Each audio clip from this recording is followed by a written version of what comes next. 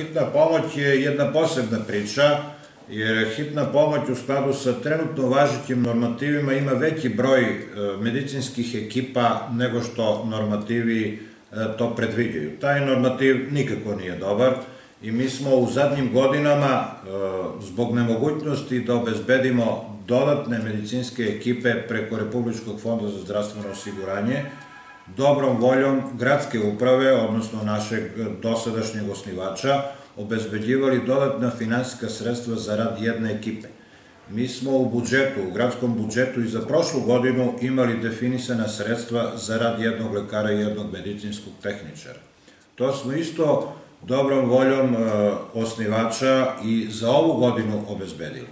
Tako da smo mi e, u februaru mesecu takođe angažovali jednu dodatnu ekipu u službi hitne medicinske pomoći od sredstava iz gradskog budžeta u okviru projekta za obezbeljivanje bolje e, zdravstvene zaštite e, u urgentnoj medicini.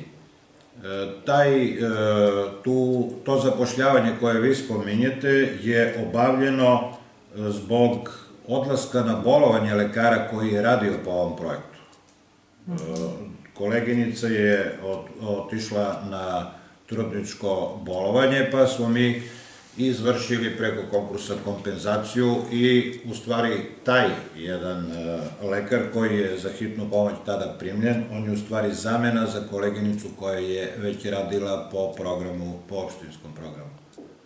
Tako da je to to zapošljavanje bilo, to je ta ekipa, ja se Iskreno nadam da će u narednom periodu usvajanjem tih novih e, e, pravnih akata koji treba da uslede iz ovog zadnjeg zakona o zdravstvenoj zaštiti, možda hitne pomoći dobiti neki povoljniji e, kadrovski normativ zbog sveukupne specifičnosti u njihovom radu, jer evo, konkretno u Pirotu, ako saopštim cifru koja proizilazi iz normativa, gradu Pirotu sledi devet medicinskih ekipa za rad službe hitne pomoći. Tu se normativ izračunava na osnovu broja stanovnika, što nije dobro.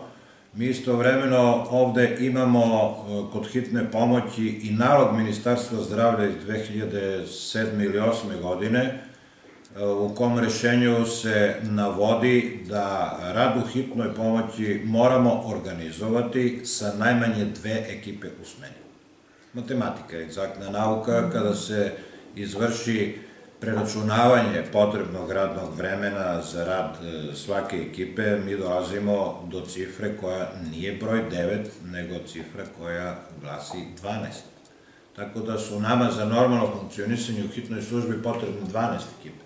Mi trenutno funkcionišemo sa 10-11 ekipa, jer zbog uh, E, njihovog radnog vremena koje je malo specifično i jedino specifično u domu zdravlja, oni imaju maksimalno skratjeno radno vreme zbog uslova rada, čak imaju zbog toga i beneficirani radni staž. E, nama upravo matematika daje ovakve cifre. Nemoguće je sa devet ekipa e, zadovoljiti ovaj osnovni uslov, da sa ovakvim skratjenim radnim vremenom i sa dve ekipe u smeni obezbedimo 365 dana.